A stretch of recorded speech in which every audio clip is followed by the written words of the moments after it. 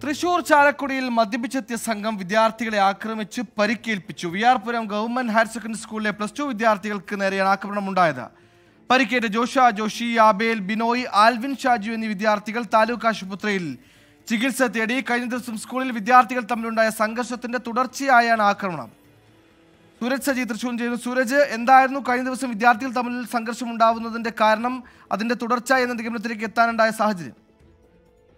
സുഹൈൽ കഴിഞ്ഞ ദിവസം plus one വിദ്യാർത്ഥികളും അതുപോലെ തന്നെ പ്ലസ് ടു വിദ്യാർത്ഥികളും തമ്മിൽ ചില തർക്കങ്ങൾ ഉണ്ടായിരുന്നു അതേ തുടർന്നുണ്ടായ സംഘർഷത്തിന് ഈ തർക്കത്തിന്റെ തുടർച്ചയായ നിലയിലാണ് ഇന്നത്തെ സംഘർഷം എന്നുള്ളതാണ് പറയുന്നത്. പ്ലസ് വൺ വിദ്യാർത്ഥിയുടെ പിതാവും അതോടൊപ്പം തന്നെ കുട്ടികൾ പിതാവിന്റെ നേതൃത്വത്തിൽ സംഘമായി എത്തിയ ആളുകളാണ് ഈ കുട്ടികളെ മർദ്ദിച്ചത് എന്നുള്ളതാണ് പറയുന്നത്. ഇന്ന് വൈകുന്നേരം സ്കൂൾ കഴിഞ്ഞ് വരുന്ന സമയത്തായിരുന്നു ഇത്തരത്തിലൊരു ആക്രമണം ഉണ്ടായത്. മദ്യപിച്ചെത്തിയ ശേഷം V R Puram government higher secondary സ്കൂളിലെ പ്ലസ് വിദ്യാർത്ഥികൾക്ക് നേരെ വലിയ രീതിയിൽ ആക്രമണം അഴിച്ചുവിടുകയായിരുന്നു പത്തോളം വിദ്യാർത്ഥികൾ നടന്നു പോകുന്ന സമയത്താണ് ഈ കാറിലെത്തിയ സംഘം സൂരജാണ് വിവരങ്ങൾ നൽകിയത്. സ്കൂൾ തുറന്നേയുള്ളൂ വിദ്യാർത്ഥി സംഘർഷങ്ങളുടെ വാർത്ത എല്ലാ ദിനവും വരുന്നുണ്ട്. പഠിക്കാൻ വിടുന്നവർ പഠിക്കുക.